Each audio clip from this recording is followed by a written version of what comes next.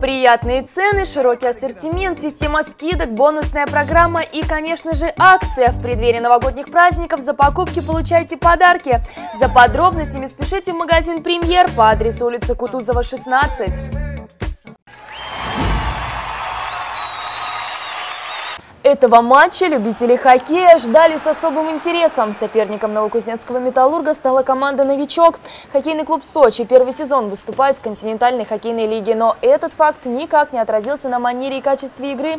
С самого начала матча гости решили взять инициативу на свои клюшки, но Рафаэль Хакимов был на чеку, поэтому и счет был открыт только во втором периоде. Нападающий «Металлурга» Райан Стоа точным броском в ближний верхний угол распечатывает ворота команды из города Сочи.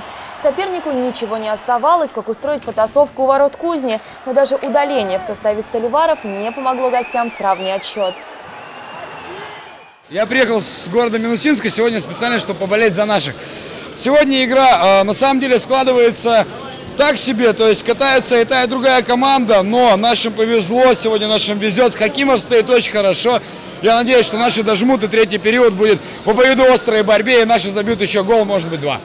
Ну, мне кажется, наша команда победит все-таки, потому что они, они давят. Мне кажется, они выиграют. В завершающей 20-минутке подопечные Германа Титова решили не уходить в оборону, но, как ни старались Столивары, забросить еще одну шайбу не получалось. Даже пустые ворота поразить Металлургу не удалось. Алексей Косауров попадает в штангу, а после Денис Курипанов не успевает сыграть на добивание. А вот команда гостей, наоборот, заставила понервничать новокузнецких болельщиков. Но Хакимов был надежен. Очередная домашняя серия матчей завершилась победой 1-0 в пользу Металлурга. Это была хорошая игра. Все старались. Мы настраивались, чтобы победить. Все показывали хороший хоккей. Команды старались, и это было видно. Нам повезло больше, показали больше мастерства. Не забывайте заходить на нашу официальную группу ВКонтакте, подписывайтесь на обновления и болейте за любимую команду.